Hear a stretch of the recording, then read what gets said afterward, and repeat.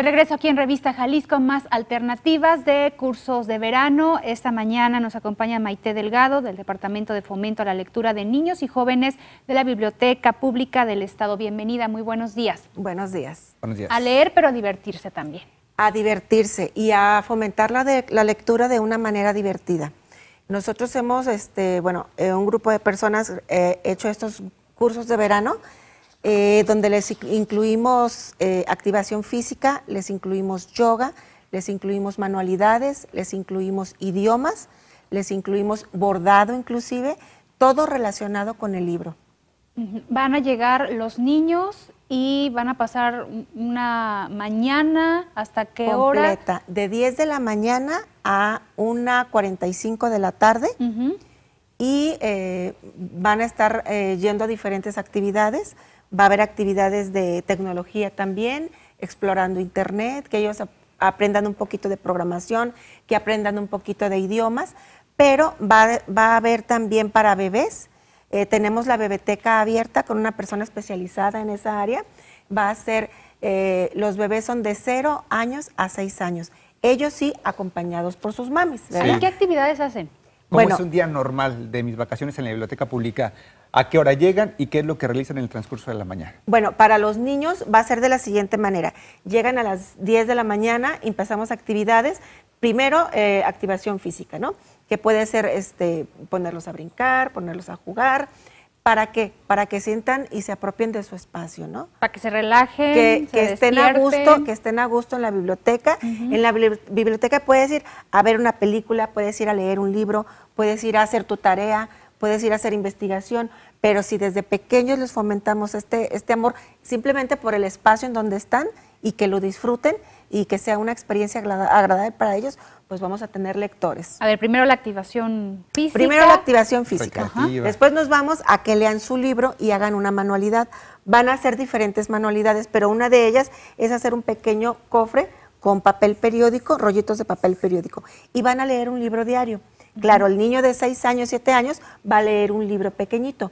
El chico más grande, ya de 11 años, puede que ya agarre un libro más grande. Bueno, entonces va a escribir su reseña en un papelito y va a guardar esa reseña en su cofre, de tal manera que al finalizar va a leer pues mínimo siete libros el niño. Habrá niños que les guste que las estrellas, astronautas, otros que los dinosaurios, dinosaurios. claro les van a decir, a ver, ¿qué te gusta a ti? ¿Qué es lo que te gustaría leer? ¿O ustedes ya tienen identificados qué títulos, qué libros van a tener? Algunas actividades eh, van enfocadas y tienen algún material específico, pero lo ideal y lo que nosotros buscamos es que el niño llegue y aprenda a buscar un libro, ¿sí?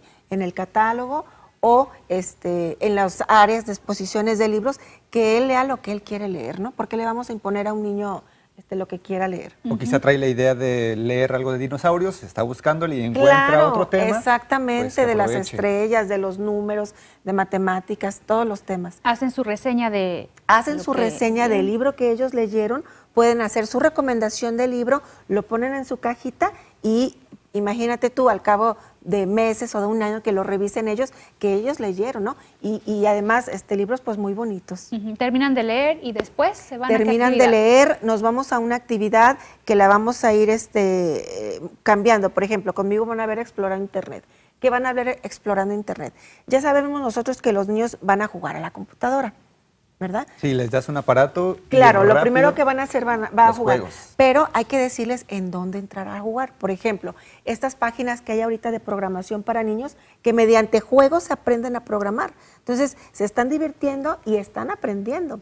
No les estás limitando que no juegues en la computadora. No. Bueno, van a tener su espacio de explorando Internet. Eh, otro día van a tener este, clases de chino, que bueno, no mm. van a salir aprendiendo a hablar chino, pero van a descubrir algo nuevo, van a descubrir idiomas.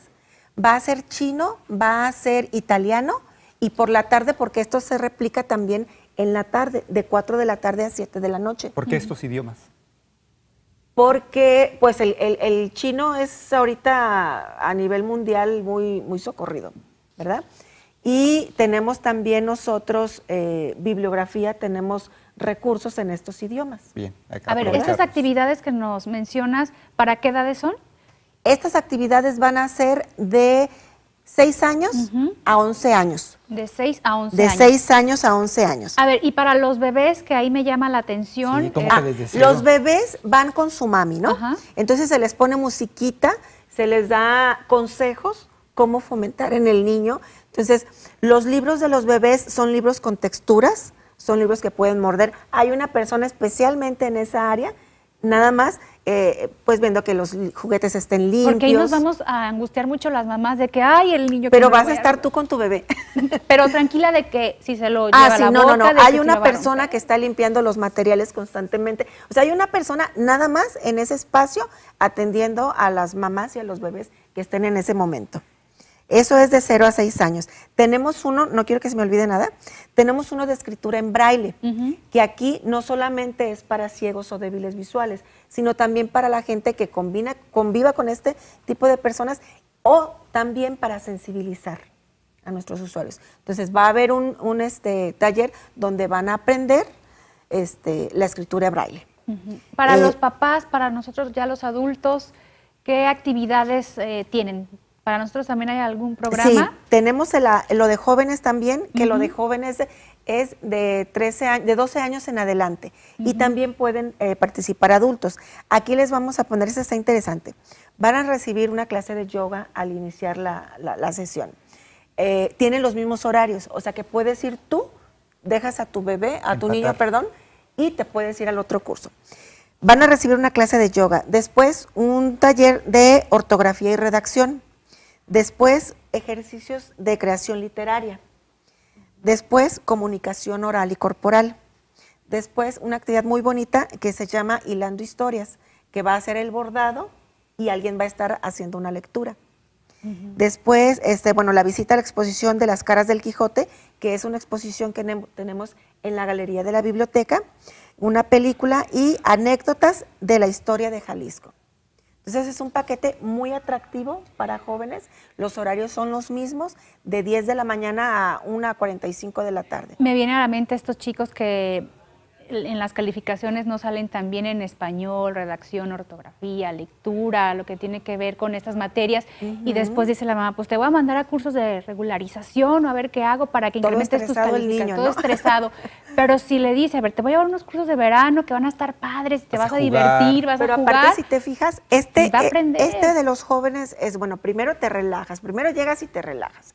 Después vamos a ver la ortografía. Luego a escribir. Pero además, esta parte que a algunos jóvenes les cuesta trabajo el hablar en público, ¿no? El desarrollarse, el desenvolverse. Entonces, a mí se me hace muy atractivo, muy bonito y bueno, los esperamos a todos. En ese también pueden eh, participar gente ya más mayor, no necesariamente es una edad límite. De 12 en adelante. De 12 en adelante quien quiera acompañar. ¿Cuál es el cupo, ah, la capacidad de estos cursos? Eh, en los niños estamos, eh, hicimos tres grupos diferentes de 40 personas por la mañana. En la tarde es un grupo de 40 personas. Siempre en la tarde, no sé por qué es un poco más bajo. El de los jóvenes también entre 30 y 40 personas. ¿Por qué 40 personas? Porque es el cupo de un salón que tenemos nosotros para los niños. Esos días en la biblioteca, si quieren ir a visitarnos, va a ser una locura. Va a ser lo más hermoso que ya hemos visto porque vamos a tener en un mismo espacio diferentes actividades. Y te veo muy emocionada. Ah, sí, todos estamos este, felices de, recibirlos. ¿Ya se pueden inscribir? Las inscripciones ya están, eh, pueden hablar para el curso de braille, es con la licenciada este, Gema Pérez. Por ahí les dejé el teléfono, que, no me lo sé de memoria, pero bueno, por aquí lo tengo. que ahorita no lo paso. 38 36 45 30. Al de jóvenes es con Abril Medina al mismo teléfono y en infantil, bueno, nada más hablan, piden comunicarse al área infantil y bueno, los estaremos recibiendo. ¿Gratuito? 38, 36. 38, 36, 45, 30. Ningún curso se cobra, eso es importante. Por ejemplo, las manualidades que hacemos nosotros, todas son de material reciclable, reciclable, perdón, para los niños. Las demás actividades, bueno, nosotros tenemos ahí ya material que hemos ido pidiendo este, a la administración, pero no se cobra un peso por ninguna actividad. Qué bien, ¿no? Este dato que quizá en este periodo hay muchos cursos, pero son caros. Claro, cualquier Y ahora tanta actividad y gratis, aprovechar. Pero además te, da la oportunidad de conocer y apropiarte del espacio. Por ejemplo, como papá, ok, voy a llevar a mi niño, pues ¿qué hago? No, pues puedes ponerte a ver una película ahí, Tenemos cerca este, de 4.000 títulos de películas diferentes, de diferentes géneros, de todos los géneros. Entonces puedes ir a, leer un libro. Y de libros ni decir la cantidad que no, no, No, no, sí. Son muchos, muchos libros. Entonces, sí hay muchas actividades que hacer. Puedes ir a jugar un juego de mesa. Puedes ir a armar un rompecabezas con tu niño. Eh, les recuerdo también, en vacaciones vamos a estar abiertos nosotros. Vamos a abrir de 8 de la mañana a 5 de la tarde. Entonces, la biblioteca no va a cerrar. Entonces, los estamos esperando, haciendo la invitación. ¿Cuándo inician las actividades y si aún hay espacios disponibles? Hay espacios, eh, ahorita puede haber espacios, digo, de ayer a hoy no sé cuántos queden, pero puede haber espacios. En la tarde seguro hay espacios todavía. Para jóvenes tenemos espacios con la posibilidad de abrir otro grupo si tenemos la, la, audiencia esperada. Sí. No sé, los jóvenes es un poco más complicado este, jalarlos a los cursos de verano. Eh, inician el día 12 de julio y terminan el 26 de julio. Sí. ¿Por qué es más difícil a los jóvenes? ¿Me voy a aburrir? Yo creo que no tenemos la cultura. Al niño lo llevas tú. Al joven probablemente él tenga que ir, ¿no? Entonces, eh, algo más atractivo. Está atractivísimo para los jóvenes. Pero una vez que van los niños y los propios este, adolescentes, jóvenes y ya los, los papás, los adultos, sí regresan, aunque ya no en un periodo de cursos de verano, en una semana cualquiera regresan porque les gusta y ven la dinámica que es diferente a lo que ellos pensaron? Claro, eh, la idea de la biblioteca tradicional que tenemos todos en mente sí ha cambiado, sí cambia con este espacio porque, o sea, no es el espacio de que cállate, no hables, no, o sea, es un espacio como que se tiene esa idea de que vas a la biblioteca te van a regañar, ¿no? La viejita de lentes. ¿eh? No, es un espacio muy amplio, es un espacio muy iluminado, es un espacio donde puedes, bueno, un ejemplo, este, quiere hacer el chico la tarea y no tiene internet en su casa. Ahí hay internet sin ningún costo. Hay más de 450 computadoras con acceso a internet y además hay wifi. Entonces, tú puedes ir con tu computadora a trabajar o puedes ir este, a trabajar ahí a la computadora. Pero también em, la responsabilidad que tenemos en el cuidado también de los títulos, en eso no le han batallado también en estas nuevas generaciones, en los cursos, les dicen lo que, la importancia de cuidar los libros, de cuidar estos espacios. No tenemos mucho problema en eso. Digo, un libro se va a romper, un libro se va a estropear, pero un libro que está inmaculado es un libro muerto. Es un libro que nunca fue usado. El uso normal, bueno, tenemos chicos, llega la mamá toda angustiada, ay, se rompió, pues sí se rompió, pues ni modo. Es parte del o es parte de su vida de libro, ¿no? Y va a ser un libro vivo, ¿sí? Entonces, eh, en cuanto a espacios, pues no sé, son cosas como, este, si se desgasta el libro no hay mucho problema. Quiero acordarme de algún caso, de algún problema con un usuario, pero no tengo en mente ninguno. Son bien portados. Sí. Maite, recuérdenos dónde está exactamente la Biblioteca Pública del Estado. Está en Periférico Norte, Manuel Gómez Morín, eh, a un lado de Prepa 10 o enfrente de CUSEA. Quienes ubiquen el Teatro Telmex, está exactamente a la misma dirección, pero sobre periférico. Bastantes vías, entonces, para poder llegar. Sí. Periférico, una de ellas. Eh, pues periférico. Periférico y acueducto, no, Parres Arias. Parres Arias. Parres Arias por Parres Arias. Hay rutas de camiones, este 637 es la que he visto por ahí. Pero bueno, pueden hablarnos por teléfono, exacto, o pueden hablarnos por teléfono. Ah, te, lo, sabes. periférico. Pueden hablarnos por teléfono también y nos dicen, de este, vengo de tal lado, ¿cómo me puedo ir? Claro que sí. Del centro, que, muchos dicen, a ver, es que la referencia, la referencia es el centro. agarre la 636. La 636. por, la, zona de... Este, el tren ligero y luego tomas otro que te lleve. Otra ruta. Vamos, te vas para atrás. Ajá. La 200. No hay pretextos entonces. No hay pretextos y además otra cosa, tú puedes estarte todo un día en la biblioteca. O sea, no es de que vayas un rato, no, puedes estarte toda una tarde, toda una mañana, sábados y domingos.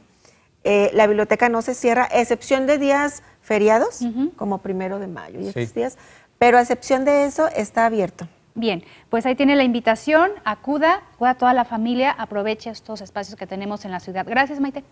A ustedes. Y que les vaya muy bien. Gracias. Gracias. Vamos a la pausa, estamos de regreso en unos minutos. Comuníquese 3030-5307. Ay, qué nervios al principio. Muchas